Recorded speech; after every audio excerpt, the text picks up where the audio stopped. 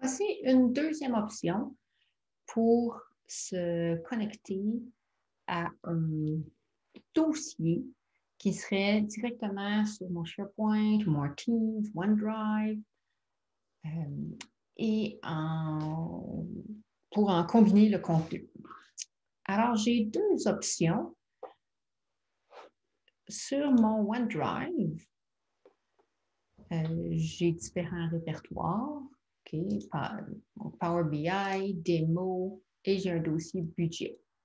À l'intérieur du dossier budget, j'ai des fichiers que je veux combiner pour que ça devienne une seule table. Ou bien, je me suis fait la même chose sur un Teams. Donc, dans mon Teams, euh, je me suis fait une équipe qui s'appelle Démo. Et là, pour que ce soit un peu différent, j'ai fait un dossier qui s'appelle Démo on Teams. Et j'ai le dossier budget qui contient également des documents. Donc, ce que je vais faire, je vais vous montrer euh, comment, par exemple, si je voudrais me combiner à ce dossier-ci euh, sur Teams. Alors, ce que je dois faire, c'est que je dois trouver le chemin de euh, ce document. Donc, une manière d'y arriver, c'est que je me rends à l'intérieur et je vais ouvrir un des documents. Et je vais faire de l'ouvrir dans l'application sur mon ordinateur. Donc, soit des fichiers texte, CSV, Excel, ça va l'ouvrir euh, sur votre poste de travail. Et là, sous le menu Fichier, il y a les informations et vous allez avoir le chemin d'accès. Et pour le voir, je vais ouvrir Notepad, le bloc-notes, et je vais copier l'adresse. Donc, on voit que l'adresse fait référence à mon SharePoint et ça s'en va sur un site démo. Et là, j'ai le chemin, document général, démo en team, budget, etc. ça, c'est tout le chemin qui va euh, m'aider après ça dans Power BI. Alors, je vais fermer le document et c'est simplement ici euh, l'adresse qui va m'intéresser.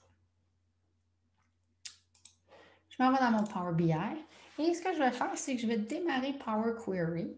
Donc, je vais créer le tout à partir de zéro. Dans Power Query, je peux ouvrir une nouvelle source qui sera une requête vide. Et là, ça m'ouvre simplement la barre de formule. Je commence avec un égal et j'écris, je commence à écrire SharePoint et dans la liste déroulante, j'ai l'option SharePoint Content. J'ouvre la parenthèse.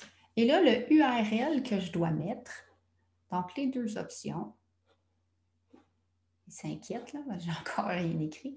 Les deux options, si c'était sur mon OneDrive, ben, je vais simplement aller chercher la racine de mon OneDrive. Donc, c'est juste le début de votre adresse, pas tous les détails, les, les points d'interrogation, les pourcentages. Donc, juste le début.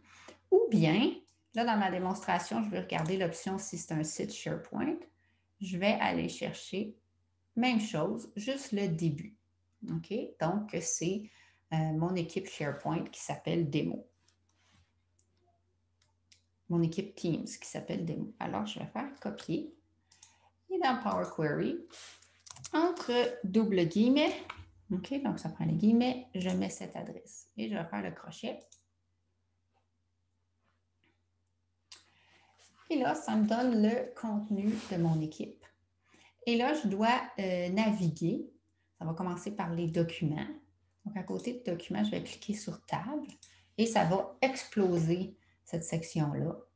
Ensuite, moi, j'avais la section générale. Si je vais voir mon bloc-notes, j'avais document, général, et etc. Donc, je clique toujours sur Table pour faire exploser. Moi, j'ai très peu de dossiers et de répertoires. Dans vos environnements, il y aura sans doute plus de choix. Et j'arrive finalement à mon dossier budget qui m'intéresse. Et là, ce que je veux, c'est que le contenu soit combiné. Alors maintenant que je suis rendu dans mon dossier budget, je vais faire l'icône des deux flèches vers le bas sur la colonne de Content. Et là, Power BI va travailler fort.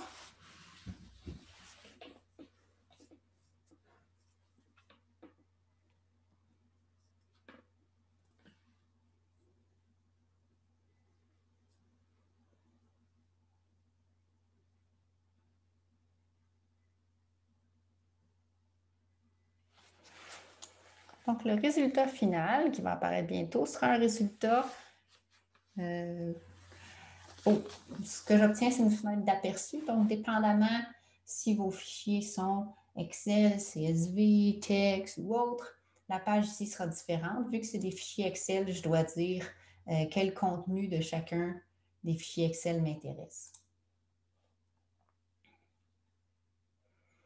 Et bientôt, ce qui apparaîtra, c'est euh, l'étape où on apprend dans tous les cours de base, lorsque j'amène un dossier et que je veux en combiner le contenu, Power BI va générer pour moi euh, une série de requêtes. Ça s'en vient.